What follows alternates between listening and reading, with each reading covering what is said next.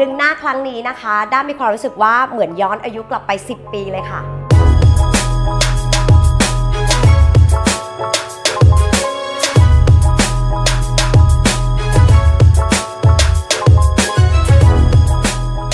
ดีเจดาด้านะคะ ปัญหาของด้าตั้งแต่แรกเลยเนี่ยก็คือเป็นคนที่มีหน้ากลม แล้วก็เป็นคนมีแก้ม ก็พยายามหาวิธีมาหลายวิธีค่ะ ไป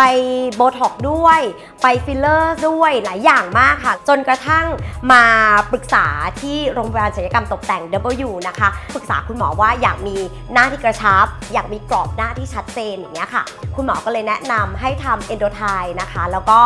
FaceTite ค่ะ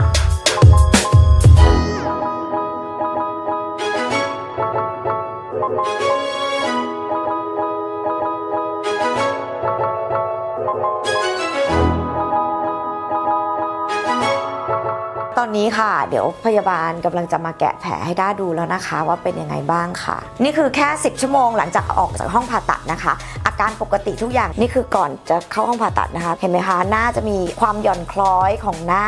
แต่พอหลังจากผ่าตัดหน้าเราแบบดูเด็กลงเลย happy มากๆเลย ตัดสินใจไม่ผิดค่ะที่เลือกโรงพยาบาลศัลยกรรม W นะคะ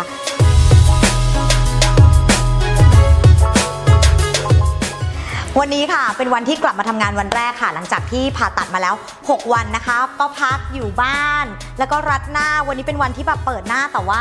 ยังไม่ได้ตัดใหม่เลยนะนี่ไงเห็นไหมก็วันที่ 6 หลังจากผ่าตัดค่ะก็คือ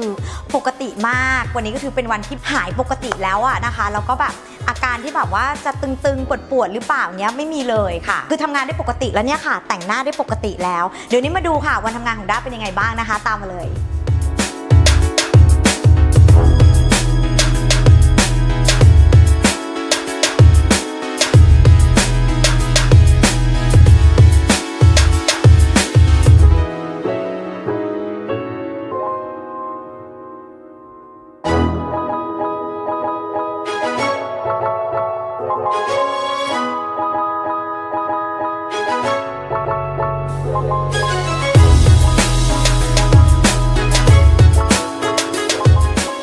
หลังจาแล้ว แล้วก็ตอนนี้ค่ะ 3 เดือนที่หลังการผ่าตัดอะ happy